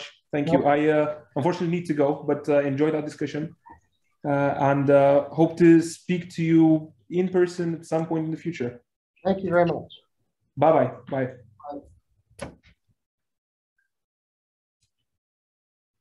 Uh, one o'clock, I think. Um, and Jeff has to turn into a pumpkin at two. He has a, have you checked out of your hotel? Yeah. So uh, maybe it's uh, a good time to adjourn. Um, thanks again. Yeah, my, my train's at two oh seven, Joe Sutter, yes. so it's plenty of time. Yeah, you can. I could, we could, if anybody has any more questions, I could take another one or two. It's plenty of time. Jeff- He's not giving up. So I've got quite a simple one, I think. Um, so all of the examples that I saw today were like first order partial differential equations turned into um, these components. I guess it's not really possible to do a second order interaction, right? Second order partial differential. I'd have to look at the equation and just see what you mean by So that. certainly you couldn't populate it in the same kind of Jacobian matrix that I think, If you can without get, introducing another node, right? You'd need to introduce another node to be able to do it. I you'd, think. you'd have to show me what you mean by that, what form of equation you're thinking about. Okay. If you can give me a Second order, You Jacobian, don't just mean second derivatives, right? No, no, no. I mean second order. Um, but yeah. So I guess like you couldn't have two. You could. So all of the examples we saw was with two edges between a maximum of two edges between any nodes, right? Yeah. You couldn't have a third edge between those nodes and things like that. no, I wouldn't know what to do with it in this framework. Yeah. Well, if you have a third edge. is You have to uh, combine the two edges, right? Yeah. Are these edges additive in the equation? I mean, Um, then they're added anyway. They're, they're always one edge and it's just whether one's greater. or s- yeah, perhaps. And that happens all the time. Sure. Um, that, that's a nonlinearity and we, we deal with that by saying, are you- on the left to the right of the threshold of the, of the inflection that creates a positive or negative? And then we just have two different, we have a split of models. sure. And that's my eutrophic, mesotrophic state model is because of that Those effect. kind. Yes. So how sensitive is your model to this distribution of the weights, right? Because it seems that you're making some assumption about the relative magnitudes when you do that, right? I like to do that all like in two thousand and six, and I don't like to think about it anymore. What I basically did was said, okay, I need to describe how well my prediction weights work. For models that could be built into an infinity of time and maybe get used on other planets someday. So I need to have some general way to just say, what's a parameter as a first order approximation of how this linearized system will behave? What's, what's a decent training, a set of training uh, equations or, or uh, models to, to generate a some, you know, first cut probability of how. And it turns out that, look, there's nothing fancy going on under the hood. All it's doing is figuring out the value of the inverse matrix. Now, the inverse matrix is the adjoint matrix divided by the determinant. The determinant is a single number, so it has no information in terms of relative differences of what's going on in the adjoint. So I throw that out. Get rid of it. The adjoint itself is nothing but a combination of arguments of alpha ij times alpha ij in a train that's equal this times this times this. that n number of multi, n minus one number of multiplications plus another train of alphas. So there's nothing going on there except multiplication and addition or subtraction. Hmm. So there's nothing fancy. So really, you just got these algebraic arguments that you just want to find out if I don't know anything about the values of the alphas, how often is this thing going to be positive or negative? Well, I think it's pretty fair that there's nothing special about that. So that's why I don't really care about what parameter space you use. But even if your inputs are, even if your model is linearized, depending on how steep those the gradients are, will affect how the direction of your output. Right? I don't know what gradient you mean. Well, you mean like the magnitude of of the influence, how positive one thing is compared to how negative the other thing is. That number will affect the sign of the output. No, I don't have to get the slope right. If this, if the partial derivative of this variable with respect to that variable has a negative slope, I don't care. I don't care how great or less that slope, I don't it has to be negative. And then I say at that point, I have a veil of ignorance over me. I only harvest out the qualitative. And given that, if that's all I know, I ask, this is the, this was in my abstract, I guess. I should say, if all we know are the signs of the Jacobi matrix, what do we know? We don't know everything, but we know at least this much. Now, if you want to know more than that, go forward and numerically simulate. Go forward and specify equations. Go forward and specify. That's really encouraging, right, in terms of us for the uncertainty side, because it means that you can relax. You know, you can you can you know compute with with uh, boxes or whatever. It's- with it's set- an with alternative sets. to the uncertainty. You could you could have like this the set of real nu- uh, positive numbers, set of negative numbers, plug them in and see what and see what, what happens. Yeah. If, if you don't if you if you don't inflate too much in terms of uh, computing, uh, if you do a good job in that sense, then you can actually say rigorously uh, whether uh, the outcome is positive or negative. That's that's interesting. It's so clearly an analogous argument to a lot of the things that we think and discuss uh, so Yeah. clearly.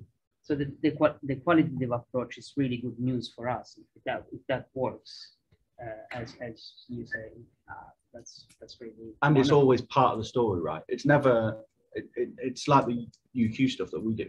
It's not like that answers every question under the sun, including does God exist? Hmm. It's just, it's part of the story of an appropriate way to, to solve problems that are really, really hard. Yeah. Um, And, and for systems that are really a lot more complex than we, than engineers than any of us work with, For yeah. projects, you know, that's one thing. You maybe know what the physics are and everything. But for bigger things like networks of systems, Mm. when there are inputs coming from ecological and sociological and economic impacts, Yeah, yeah, yeah, yeah. you know, you don't want to be the with it. economist slash ecologist Yeah. slash sociologist, you, Um, but you can maybe handle the sum. I, I have a yes. question about getting. I expect that complexity would uh, uh, make you not take a decision or would make, will lead you It's all right, to well, not they're on know. Absolutely. Okay, wait, wait. We, we need to stop the recording. Oh, please do. Uh, I, eh, Francis recorded. I know, but he asked us to stop the recording I don't know Okay. how. because you're a co-host. Oh, I just unplugged. That's fine. That stop it? No, no, no, that's fine. Um, so, so I've got a question. Uh, I think you closed it. Any of them Zoom? Yeah, we stopped it. We stopped it. It's fine. Um, Zoom is over. so my question is about kind of the structure to these elicitation exercises. Is there any structure or is it kind of what you've learned over decades of doing it? And so the structure, so when you engage in these elicitation exercises with a panel of experts or a room full of people or a conference hall or whatever, Yep. are there, is there like a clear strategy? So you, uh, spoke a little bit about it. So like Look, defining the scope. tell you what. Key beginning. Mostly what happens is that the people that have invited me to do it are horrified by the first half day Right. Because It's a free for all. it is a free for all. Right, And I don't stifle any, I do control the alphas, right. usually the alpha males. I have to tell them to shut up and let other, because it's very, you know, everyone's egalitarian. Um, But the, um, the process is, is there's no one right way to enter a house. You go in through the front door, the back door, the window, or to the attic, you know, just, you're gonna get, you're gonna go eventually through every room in the house. And you can't control. Do you know? Uh, But, but basic, but basically you have to constrain by you define the relevant subsystem based upon the problem. Sure. Still recording. Yeah. So do you know um, Tony O'Hagan? No, He has this Sheffield elicitation framework, and it's all about the parameter space. It's all about defining distributions to things, and he Yeah. he's kind of he's published a bunch of things now about this kind of structured process, and he's given us talks a couple of yes, times I think I've it. seen papers that are trying to do similar things. And I mean, I guess, I guess the question is, is that something when you're gone or no longer doing this kind of thing, or if Anda wanted to go into a room full of people and start building one of these, one of these models, and it's something important, so we don't really know where to start. Are there, is there like a clear path, at least the phases of I it? keep or- meaning to, to find a way to teach that. Yeah, I haven't, it's not something I've taught okay, and it's recognized as a gap. Cause like, yeah, hit by bus scenario. and I've, I've spent my whole career caring about this, so I think I've gotten better at it. sure, But anybody could, but they, the, the ingredient is you have to want to. sure, And you just can't blow in and blow out for a week and just think you're gonna read some paper and say, oh, now I'm gonna do a elicitation and get these. Because you, you have to be listening to people's stories and you have to be, I don't, know, unintelligent, but perceptive enough to, to hear that there's a process in there. Right. Important. And it's, a- And- and and it's that- dialectical. that's about your skill, right? But th- so there are some components of the shelf approach, like before they all meet for the first time, he'll aggregate all of the information. So any reference that people want, he'll either synthesize it down. If it, if you get 100 references, he'll ask for it to be synthesized down. And so everyone begins with like this same document, uh, the same set of documents, and and this is kind of like your prior reading. And then we get in the room, and there's sort of five stages. Very- sounds like a very organized person. I wish I was that organized.